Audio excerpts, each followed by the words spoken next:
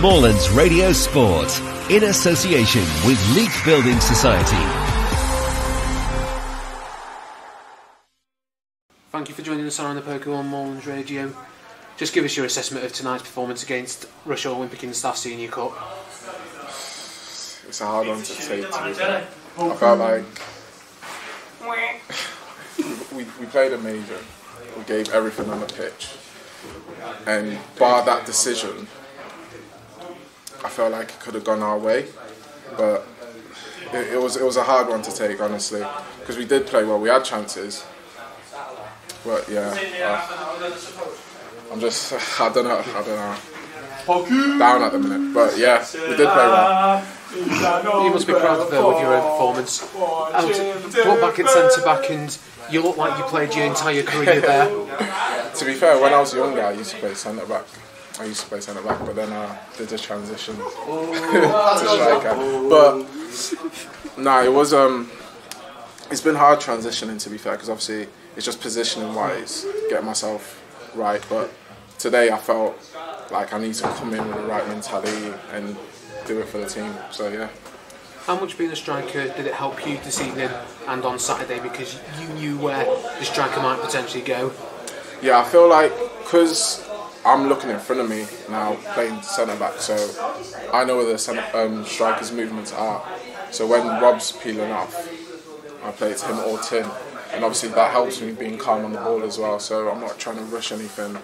But yeah, no, it helps a lot to be fair. Obvious question is which position do you prefer? do, you, do you prefer being the striker or the defender? No, I, I think I prefer being the striker. I like scoring goals. Obviously, it's, um, I've helped the team out defending because obviously we've had injury problems. But yeah, no, I do prefer being a striker to be fair. Clitheroe, so- not Clitheroe, it's Witton Albion first on Oh, yeah. Saturday away. It's your, your final away game of the season. Thoughts going into that one? Well, we're just gonna keep the same mentality, um, keep pushing, and try and get the win. Because all season we've we've st- stuck together.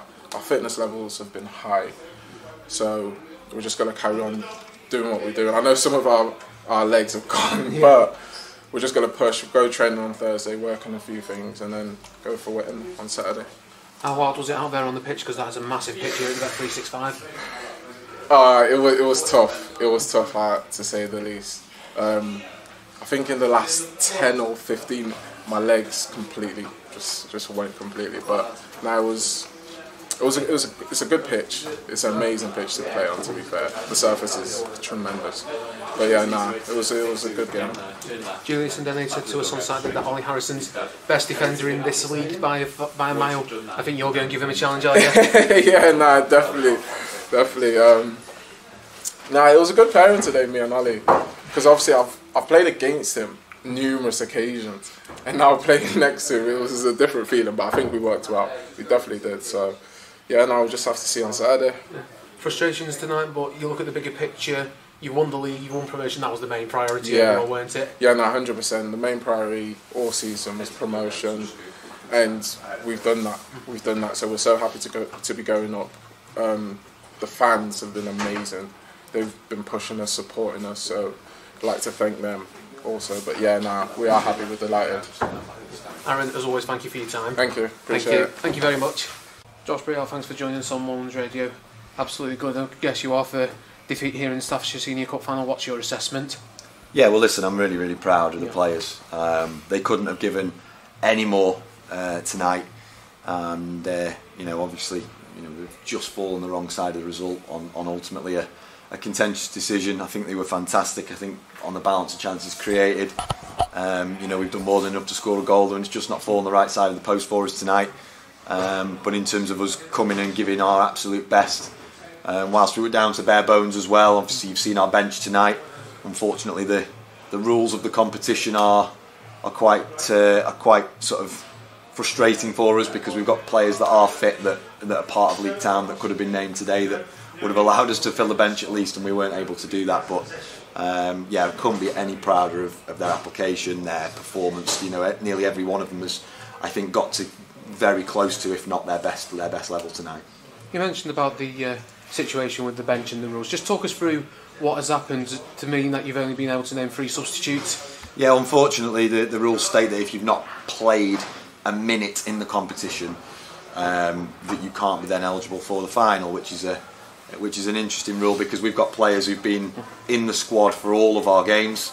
Uh, one player in particular, a young lad, Ollie Babington, who's been around the squad all season, been in the squad for all three of the games, and is unfortunately eligible. And, and what's even more frustrating is that we're the only county that that hasn't this year gone to uh, being able to use five from the named five in game.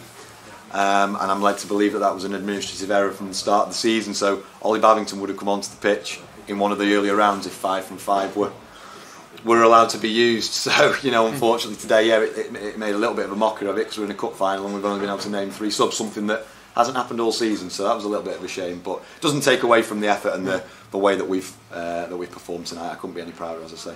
And for a lad like Babington, a young lad, this would have been a great experience for him to be sat on that bench. It absolutely would have. It absolutely would have. Yeah.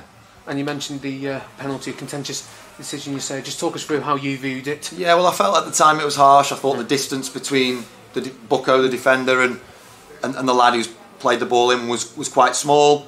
Um, and and we were we were told in the game that it was due to his arm being in an unnatural position. Well, I think his arm went into an unnatural position after the ball struck his arm, which was down by his side. Um, since watched it back because obviously we have the, the games filmed and the live coding, and you know I'm I'm, I'm you know I'm convinced that, that what I thought I saw in real time is, is exactly what I've seen back. So uh, yeah, a little bit frustrated, but you know we can't control that. We can't do anything about that. I was actually really pleased with how we responded after that, Yeah. and you know we didn't let uh, our performance drop or our heads drop when which would have been easy. You know, five minutes into the second half or whatever it was.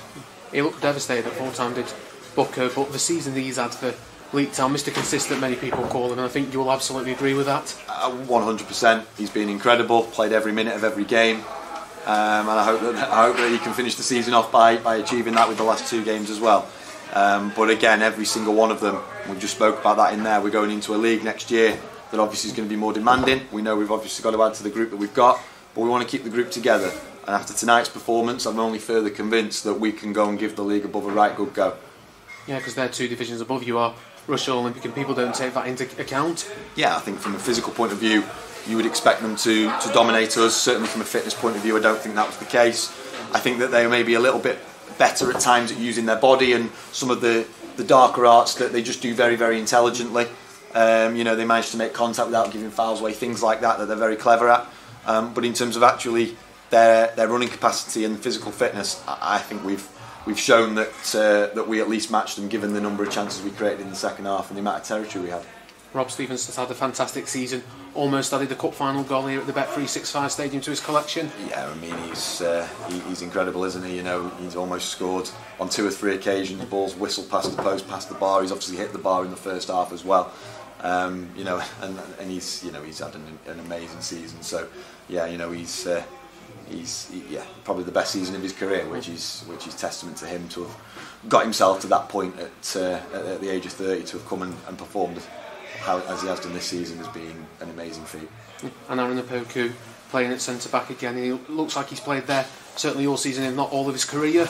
Massive shout out to Aaron. Um, that's only his second game, obviously, as most people will know. His first game was three days ago on Saturday. He's played against Bootle, who are at the top end of our league, and he's played against the team two leagues above. You would not have known that that was his second game as a centre half. He was he was colossus back there. I'm so proud of, of the way that he's taken the challenge on and, uh, and, and executed. You know what we've asked of him. He was he was fantastic. You turned since you turned to Witton Albion on Saturday now. Uh, two league games left. Your last away one of the season in the Northern Premier League West. yeah, two games to go. Um, we know that if we can put on two performances, two big performances, and come away with the, the results that we want, that we will uh, that we will have won the league by 16 points, which or a minimum of 16 points, which uh, would be absolutely, uh, you know, absolutely incredible.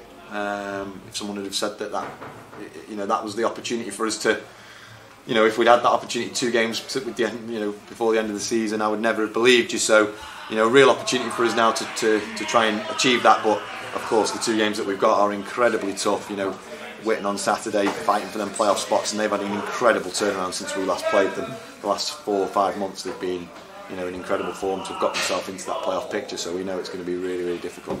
And that could potentially uh, beat the number of points that Macclesfield had their lead by over Leek this time last year. And we all know the budget and the size of Macclesfield SC.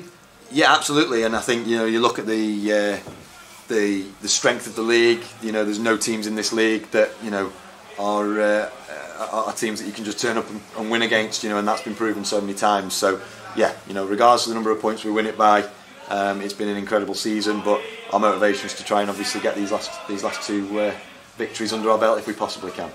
You may have lost tonight, but you've won really the main prize, which is the league. So I guess when you go home tonight, you know, be a bit disappointed, but there is the bigger picture, really, isn't there? Yeah, there is, and obviously we are disappointed. You know, we, we felt like it was an amazing opportunity, and when we've performed like we've performed, um, you know, it makes it even even harder to, to take. But you know, we'll uh, we'll lick our wounds and we'll we'll get ourselves back into training on Thursday, and, and ready for the game on Saturday with a you know to try and make a positive positive response. Josh, as always, thank you for your time. Cheers, Rich. Thank Thank you. you.